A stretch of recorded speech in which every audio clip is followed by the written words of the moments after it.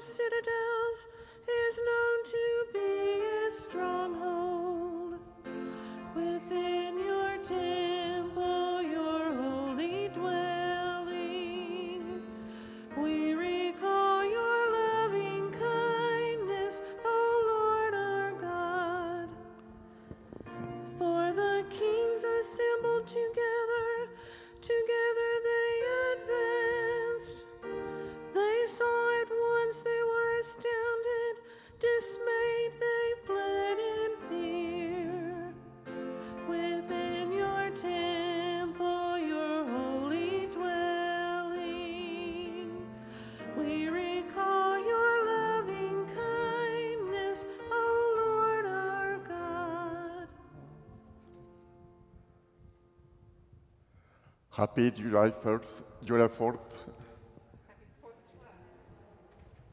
In the name of the Father, the Son, and the Holy Spirit. The Lord be with you. As we come together to celebrate our faith, let us acknowledge our sins and ask God for mercy.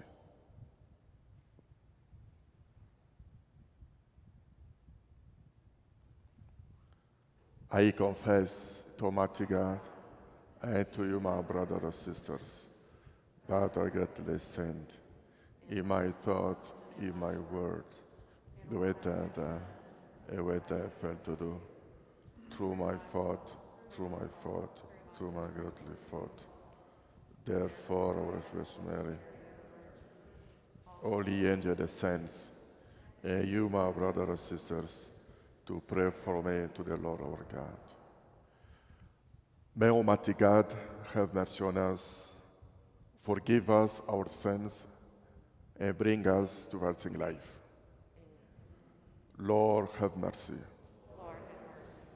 Christ, have mercy. Lord, have mercy. Glory, to God, in the in the highest, and on earth peace to people of good way. goodwill.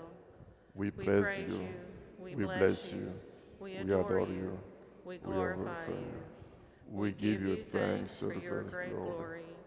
Lord God, Heavenly King, O God, Almighty Father, Lord, God, Christ, only begotten Son Son, of God, Lord God, God, Lamb Son of God, Son of the Father, you take away the sins of the world. Have mercy on us. You take away the sins of the world. Receive our prayer. You are seated at the right hand of the Father. Have mercy on us. For you, alone are the Holy One. You alone are the. Lord. You alone are the Most High, Jesus Christ. With the Holy Spirit, in the glory of God the Father. Father. Amen. let us pray. O God, who in best made your Son, have raised up a fallen world, fill your faithful with joy. For those you have rescued from slavery to sin, you bestow eternal gladness. We ask this to Christ our Lord.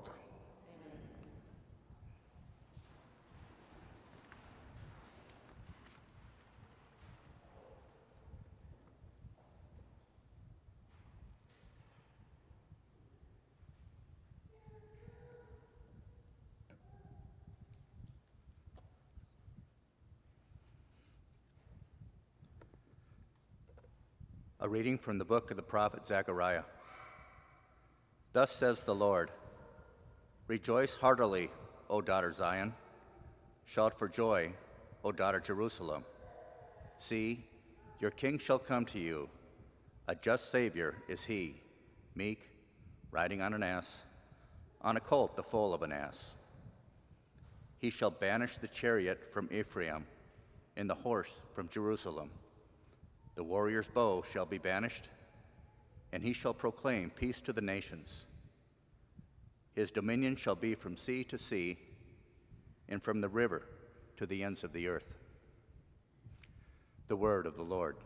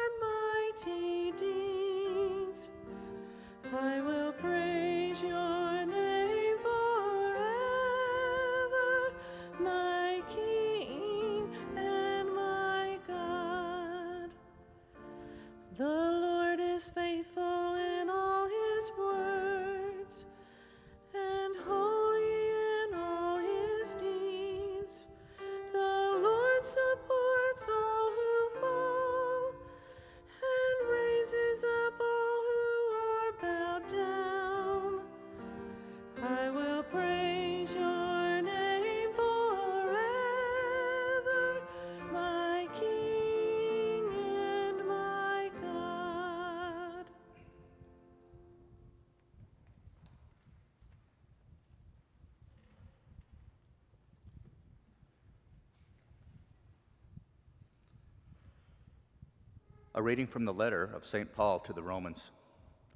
Brothers and sisters, you are not in the flesh. On the contrary, you are in the Spirit, if only the Spirit of God dwells in you. Whoever does not have the Spirit of Christ does not belong to him. If the Spirit of the one who raised Jesus from the dead dwells in you, the one who raised Christ from the dead will give life to your mortal bodies also through his Spirit that dwells in you. Consequently, brothers and sisters, we are not debtors to the flesh, to live according to the flesh. For if you live according to the flesh, you will die.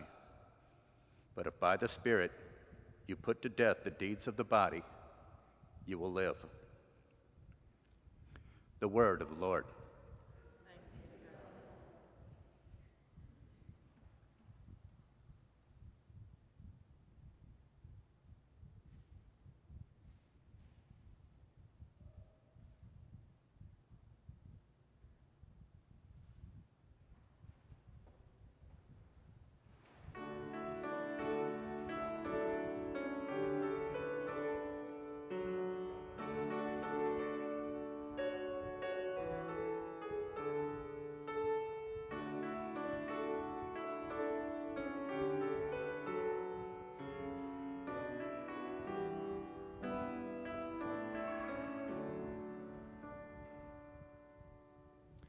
The Lord be with you. And with your spirit. A reading from the Holy Gospel according to Matthew. Glory to you, O Lord. At that time, Jesus exclaimed, I give praise to you, Father, Lord of heaven and earth. For although you have hidden these things from the wise and the learned, you have revealed, revealed them to the little ones. Yes, Father, such has been your gracious will. All things have been handed over to me by my Father. No one knows the Son except the Father, and no one knows the Father except the Son, and anyone to whom the Son wishes to reveal him. Come to me, all you who labor and are burdened, and I will give you rest. Take my yoke upon you and learn from me, for I am meek and humble of heart, and you will find rest for yourselves. For my yoke is easy and my burden light. The Gospel of the Lord. You, Lord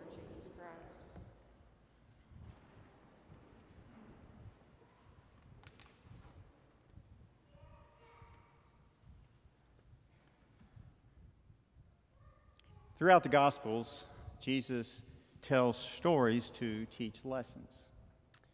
He uses objects in his stories that are familiar to the people he is talking to. Stories play an important part helping us to relate to someone else's situation. If I told you a story about my frustration at times with my smartphone, some of you would understand. If I told you a story about the number of times my GPS sent me down a dead end road, some of you could relate. But if Jesus told a story about fixing a flat tire, now they would not understand what he was talking about. But the people Jesus was talking to in today's gospel did relate to and understand very well what he was talking about. They understood the significance of a yoke. They knew that a yoke was a heavy piece of wood laid across the shoulders and tied around the neck of a team of animals. They understood that a yoke allowed the team to work together to plow a field or to pull a wagon. They knew that the yoke was custom made to prevent pain and discomfort to the animals. As a carpenter, Jesus could very well have made yokes for the local people. The closest thing that I have ever seen to a yoke would be in an old Western movie when a team of horses is pulling a wagon. The bigger the wagon or heavier the load, the more horses would be tied together. This would force the animals to work together, and by working together, their loads was lighter, the work easier. Since we no longer use animals to pull heavy loads, and most of us have never seen a yoke, its meaning may be lost on most of us. We have machines to do the heavy lifting and for transporting heavy loads while we sit in air conditioned comfort. We may not be familiar with how yokes make work easier and heavier loads lighter, but we are all very familiar with how life can weigh us down. We are all familiar, familiar with the burdens of day to day living. Maybe you are burdened by the demands and expectations from others, such as the burden of responsibility of being a parent, or a teacher, or a healthcare worker. Maybe you're dealing with the burden of constant pain or a handicap. Maybe you're bearing the burden of alcoholism or a drug addiction. Fear of failure can weigh heavy as well as guilt. Guilt as a result of something we should have done, or guilt from something that was not even our fault. Some of you are dealing with business responsibilities, and others are dealing with the burden of strained or broken relationships. There are those that are dealing with the loss of a loved one. Maybe you are burdened with an uncontrolled temper, or the burden of fear, or worry, or depression or the burden of disappointment.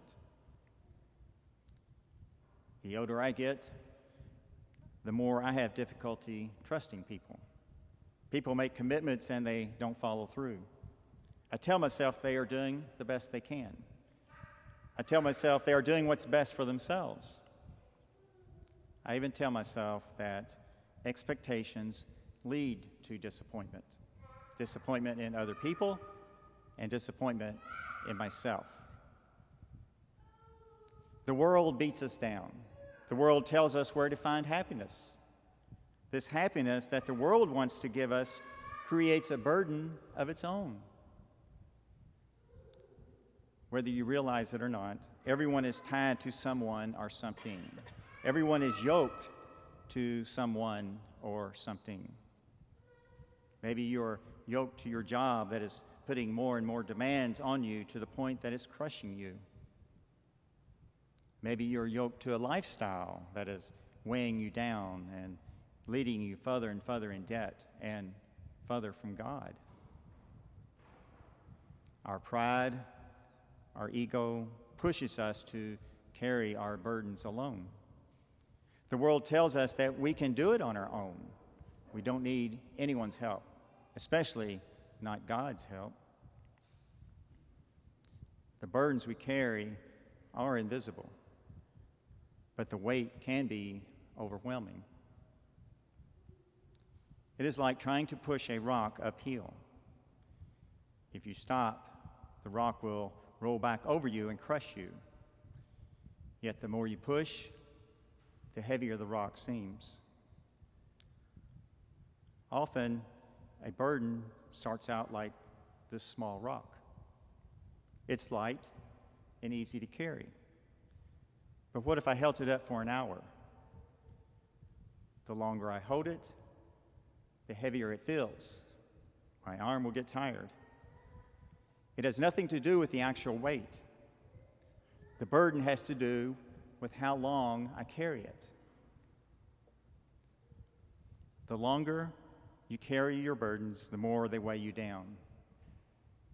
Eventually, you will not be able to carry them any longer. Jesus is offering us a helping hand. He is inviting us to team up with Him. Jesus is offering each of us the opportunity to lighten our burdens placed upon us by this world. Jesus is not only offering a yoke to us, but to be yoked with Him. When we take on the yoke of Jesus, we no longer carry our burdens alone. Think of it this way Jesus is not just the teacher that gives you homework, but He is the, also the friend that helps you to do it. In a normal yoke, the load is equally distributed between the two that are yoked together. But when we are yoked to Jesus, He carries the load. Jesus says, Take my yoke upon you and learn from me. Let Jesus teach you what you need to know. Let Jesus guide you and direct you in your day to day activities. Let Jesus set the direction for your life. You will find rest by taking Jesus' yoke because it's a different kind of yoke. It will not always be comfortable, but the yoke of Jesus is perfectly fitted to support us in fulfilling our purpose for our lives. The rest, Jesus promises, comes from following his ways, his attitudes of living in this world. We were put here for a reason. We each have a purpose. We can spend our time self absorbed by our own life, by our own burdens, that we miss out on the big picture. We miss out on the purpose of our life. Jesus has a plan for each one of you. Open your hearts to Jesus. Reach out to your neighbor. When you reach out in the name of Jesus, you have nothing to lose and everything to gain. Do as St. Paul says in the second reading Do not live in the flesh, but live in the Spirit. Do not live for the burdens of this world, but live for Jesus. Every day we must put on the yoke of Jesus. Every day we must put our complete trust in Him. Every day we must surrender to Jesus. Yoke yourself to Jesus. By being yoked to Jesus, we will learn from Him how our lives can have meaning and purpose. There is peace in being yoked with someone good and loving and patient. Now, more than ever, we need Jesus. We need each other. We need community. Reach out to each other. Help each other. Be there for one another.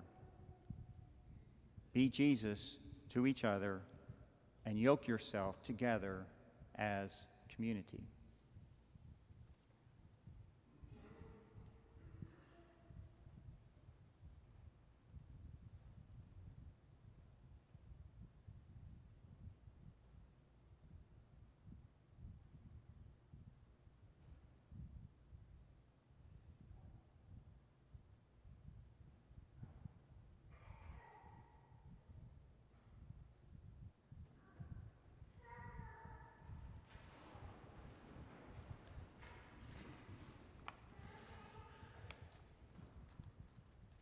I believe in one God, the Father Almighty, maker of heaven and earth, all things is visible and invisible.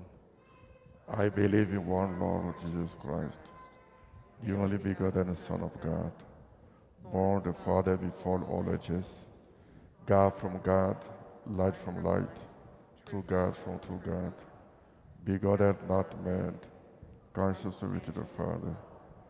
Through him all things were man. For us men and for our salvation, he came down from heaven. And by the Holy Spirit, he was a kind of Virgin Mary, and became man.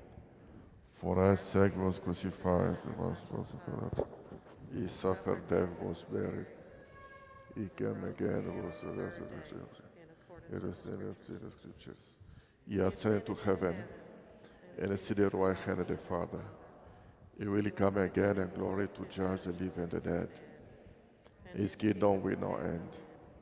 I believe in the Holy Spirit, the Lord that giveth life, who proceed from the Father the Son, with the Father the Son is our Lord glorified, who has spoken to the prophet. I believe in a holy God, the the church.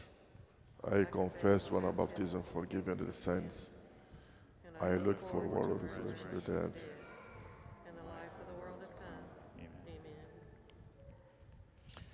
In perfect trust, let us bring our prayers before God. For leaders within our church, may they look to the humble and lowly for inspiration and understanding as they seek to follow Jesus. We pray to the Lord. Lord, hear our prayer. For diplomats throughout the world, may they urge peace and work for unity among peoples. We pray to the Lord. Lord, hear our prayer. For those who are burdened, may they take up the yoke of Jesus and learn from him. We pray to the Lord. Lord, hear our prayer. For our youth, may they discover Jesus in our community. We pray to the Lord. Lord, hear our prayer. For an end to abortion, for the names listed in the book of intentions, for those held silently in our hearts, and for the seminarians of the Diocese of Owensboro, we pray to the Lord. Lord, hear our prayer. For those who have been called through death to eternal rest, especially Toby Gates and Francis Jean Freimeyer, and for Bud O'Brien, the intention of this Mass, we pray to the Lord. Lord, hear our prayer. Loving God, you send your Son, Jesus, to teach us the way of humility. Hear our prayers that in following Him, we may give rest to the weary and build up the kingdom of heaven. We ask this to Christ our Lord.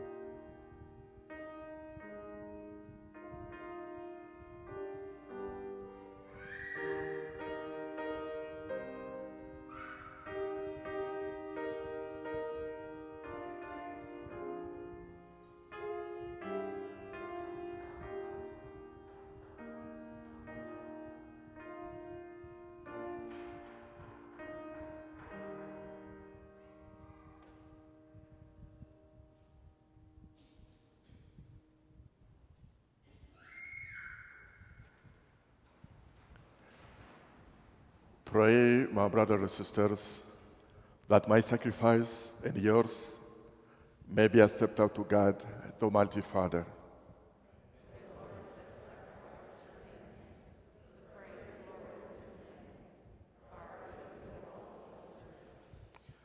May this oblation dedicated to your name purify us, O Lord, and day by day bring our conduct closer to the life of heaven. We ask this to Christ our Lord. The Lord be with you. Lift up your heart. Let us give thanks to the Lord our God. It is right to just our duty and our salvation, always, everywhere to give you thanks, Father, most holy, through your beloved Son, Jesus Christ, your word through whom you made all things, who sent us our Savior and Redeemer, incarnate by the Holy Spirit and born in the Virgin. Follow faith your will, again for your holy people. He stretched out his hands as to endure his passion so as to break the bonds of death and manifest the resurrection. And so, with the angels and the, all the saints, we declare your glory, as with one voice we acclaim. Holy, Holy, holy, holy, Lord, God of hosts, heaven and earth are full of glory. Hosanna in the highest. Blessed is he who comes in the name of the Lord. O Hosanna in the highest.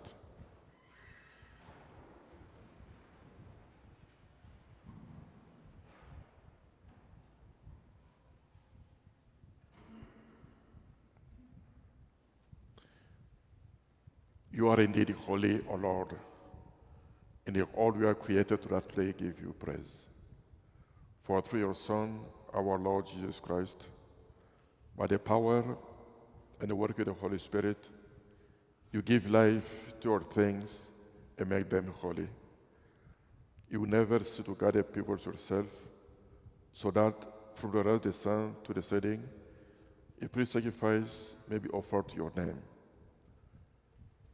Therefore, O Lord, we humbly implore you by the same Spirit, graciously make holy these gifts we are brought to for consecration, that they may become the body and blood of your Son, our Lord Jesus Christ, at whose command we celebrate these mysteries. For the night he was betrayed, he himself took bread. They gave you thanks, he said a blessing, broke the bread, and gave it to the disciples, saying, Take this, all of you, and eat of it, for this is my body, which be given up for you.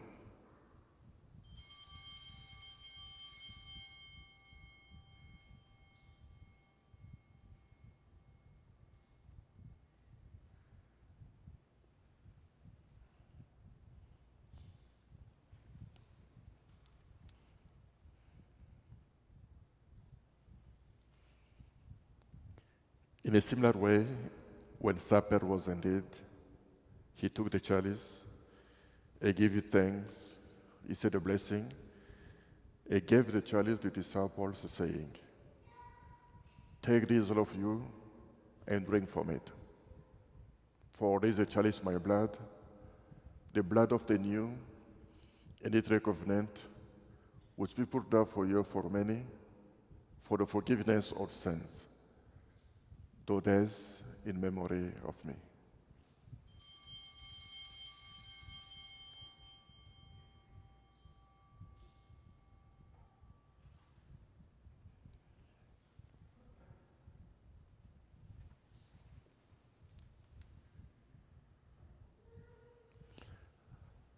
The mystery of faith.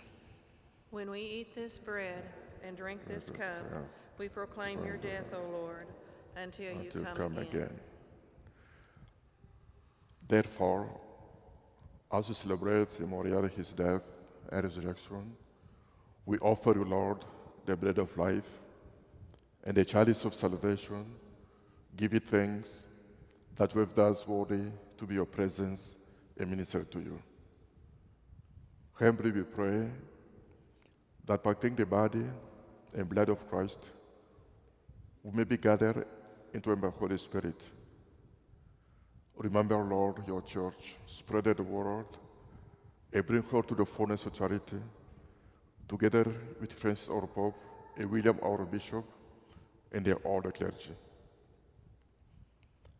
Remember also our brothers and sisters who have fallen asleep in the hope of resurrection and the all of thy your mercy.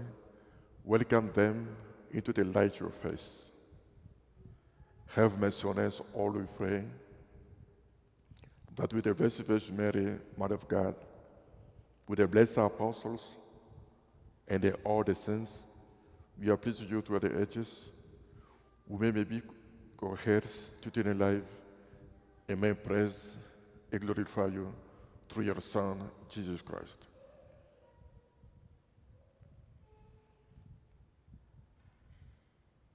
Through him, with him, and him.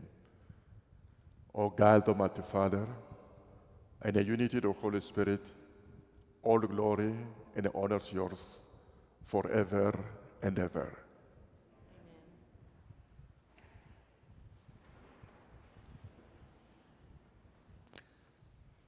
At the Savior's command, informed by divine teaching, we dare to say, Our Father, who art heaven, hallowed be thy name. Thy kingdom come, thy will be done, on earth as in heaven. Give us this day our daily bread, and forgive our trespasses, as we forgive those who trespass against us. They lead us not into temptation, but deliver us. Deliver us, Lord, we pray from every evil. Graciously grant peace our days, that by the help of your mercy, we may be always free from sin and safe from all distress, as we await the blessed hope and the coming of our Savior, Jesus Christ. For the kingdom, the power, and the glory are yours now and forever. Lord Jesus Christ, who said to apostles, Peace I leave you, my peace I give you. Look not our sins, but to fill your church. May graciously grant peace unity and accordance to your will. We live and reign forever and ever. Amen. The peace of the Lord be with you always. Let us offer each other a sign of. Peace,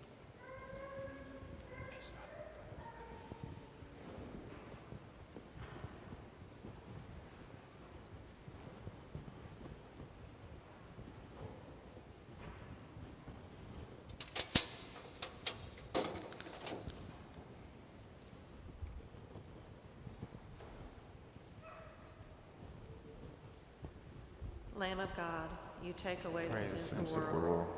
Have mercy on us. Lamb of God, you take away the sins of the world.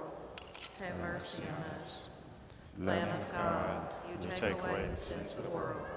Grant us peace.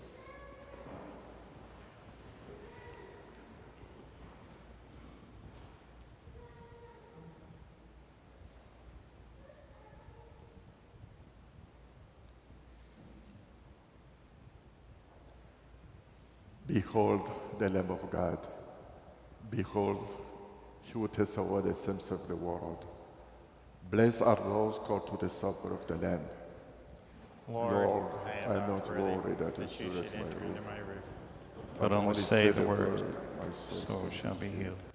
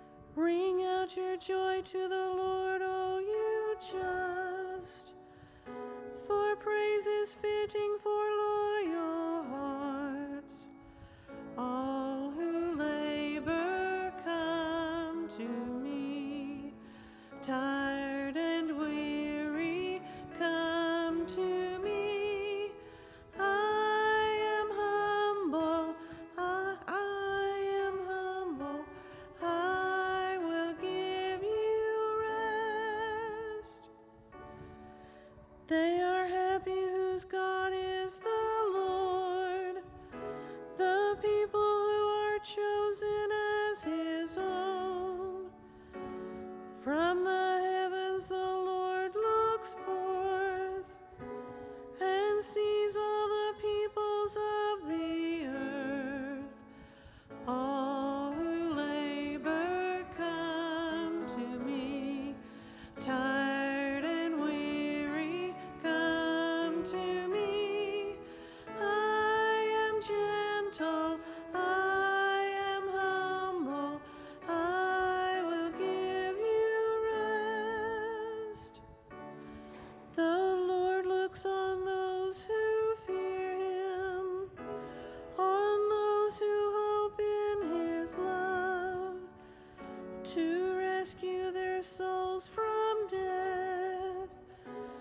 to keep them